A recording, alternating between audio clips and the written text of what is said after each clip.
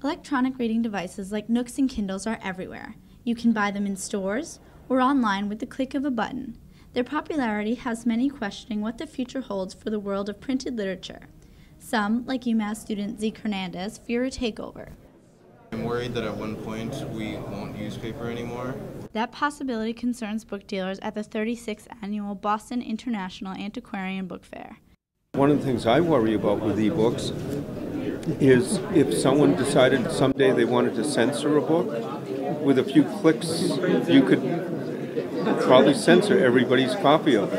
When you digitize a book, you lose aspects of its artificial of its artifactuality. Participants at the festival, which offered items such as beautifully bound classics, believe the value of the physical book is too important to lose.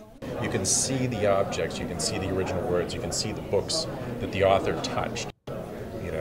You know, J.K. Rowling touches the book, signs it. The author actually had this thing. I think coming in contact with the real thing gives you a much deeper appreciation of the age and quality of what it is that you're seeing. These sentiments are signs of promise, but e-reader sales paint a different picture. A report released in December 2012 by the Pew Research Center found that over one year, the number of e reader users ages 16 and up rose from 16 to 23 percent, and the number of printed book readers fell from 72 to 67 percent. But despite the numbers, some remain optimistic that e readers and print books can peacefully coexist. As far as practical reading, I think ebooks are great, but people are obsessed with rarity, and I think as long as people are interested in things that are rare and things that are difficult to get your hands on, basically, that will be the case. I like to imagine that there'll always be a place to find wonderful books.